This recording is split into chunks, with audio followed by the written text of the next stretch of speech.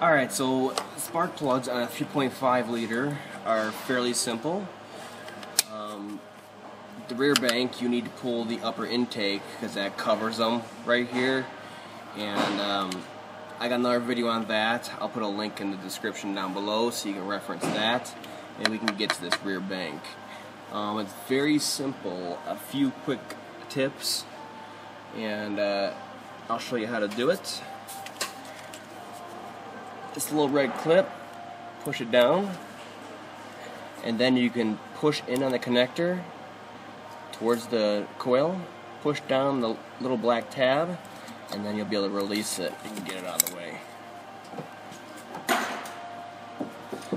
Pull this 8 millimeter bolt. That bolt off to the side so we don't lose it down in here.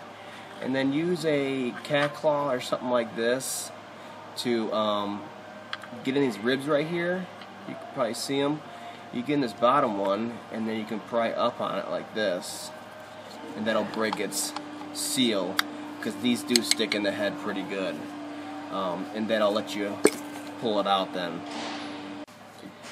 After that, air if you got it, blow out this area, and then down into the well, and we can uh, make sure there's nothing in there that we can't see um, that might fall in the, the um, cylinder when we pull that plug out.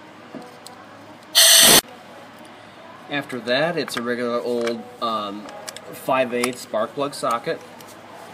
Nothing fancy. Down in there, seems like 6 inch extension. Works just fine. 3 8 drive. You're going to want to do this on a cool engine so we had no chance of stripping those uh, spark plug threads out. These, the threads are very deep and it'd be hard to strip them out. But once you start stripping them out, you can ruin the other ones the same way um, as you're feeding the plug in or out. So, might as well avoid it altogether, right? As you can see, these are very long-winded going to turbo mode here. Okay, there we go. Now these have uh, 95,000 on them. According to the maintenance schedule, they're due at 90, so we're right there. We're doing them uh, before they go on a trip. And these ones, the way they look, got that light brown on them like that. These are perfect. The new plugs we can gap them at um, it's like 51 to 57 thousandths. It's actually a wide range uh, for the spec for the gap. I put them at 54 thousandths like the older engines. It's right in the middle, and that way it can uh, go from there. Uh, I do put um, I do put anti-seize on the threads no matter what the coating of the shell of the plug is. You never know if Ford's going to change it or whatever and then we have uh, seizing issues. So you might as well just put a little dab on there and put it back in there. Thread it in by hand and you'll feel it going in. You'll feel it starting to have resistance. You know it's actually threading. Then once you feel that, you can use your 3 8 ratchet to tighten it again back down in there. Now the spec for these is 133 inch pounds. I just snug it up until it stops, now a little bit more, and uh, never had an issue. Don't necessarily need a torque wrench for it. It's a good idea, but it's not totally necessary. Um, the threads are so long and strong on the cylinder heads. They're uh, very forgiving as long as you thread that plug in right the first time take your coil and put a little dielectric grease on it.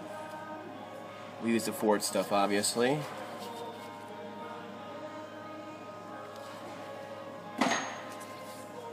Something like that, just a little bit on there. And we can put this back down in here. Put our bolt in. We could tighten that all down.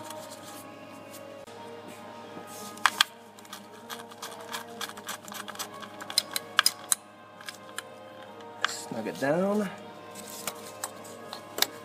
these ones. Make sure you hear the click like that. I'll stop talking.